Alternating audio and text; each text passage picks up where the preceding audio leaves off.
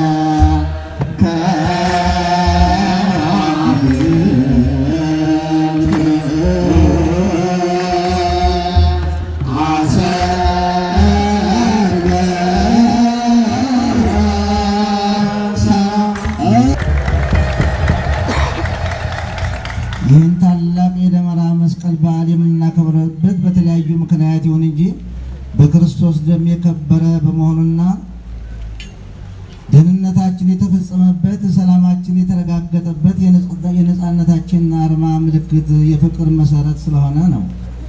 እንደሚታወቀው ያለፈው የ2012 ዓመተ ምህረት እንደ ሀገር ብዙ አብያተ ክርስቲያናት የተቃጠሉበት ምዕመናን በእምነታቸው ማንነት የሰማዕትነትን ዋጋ የከፈሉበትን እናት ቤተ ክርስቲያን የተፈተነችበት ዘመን ሆኖ በአሳዛኝ ሁኔታ አልፏል። በዚህ ፈተና ውስጥ በዓመተ ምሕረት በዓለም አቀፍና በሀገር አቀፍ ደረጃ የሚገኙ የቤተ ክርስቲያናችን ልጆች ችግር የደረሰባቸውን ወገኖች ከሩቅ የቤተ ክርስቲያኒቱ ልጆችና በጎ አድራጊዎች ኢትዮጵያውያንን በገንዘብ፣ በማቴሪያል፣ በሀሳብ፣ በጸሎት በመደገፍ ታሪካዊ ስራ ተሰርቷል፣ እየተሰራም ይገኛል። በዚህ ሂደት ውስጥ ለቤተ ክርስቲያናችን ልጆች ማለትም በእምነቱ ስር ለምንገኝ ለእኛ እንዲሁም በእምነቱ ተከታዮች ላይ የደረሰውን ችግር በጋራ ለመወጣት የምናደርገው ትብብር ከመንግስት ጎን ሆኖ ለሚደረገው ድጋፍ እጅጉን ያስደስተናል፣ ያኮራናል።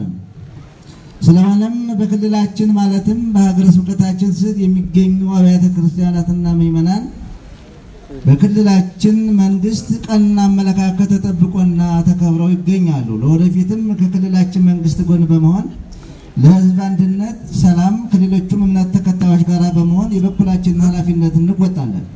በዚህ የደመራ በዓል ላይ የተሰበሰባችሁ ወገኖቻችን የቅዱስ መስቀሉን በዓል በምናከብርበት ጊዜ በመስቀሉ ላይ የተከፈለውን መስዋዕትነት የተረጋገጠውን ሰላም አመልካችን ፍቅር በማሰብ የሁላችንም ልብ የእርቅና የሰላም ማሄደር ሊሆን ይገባል።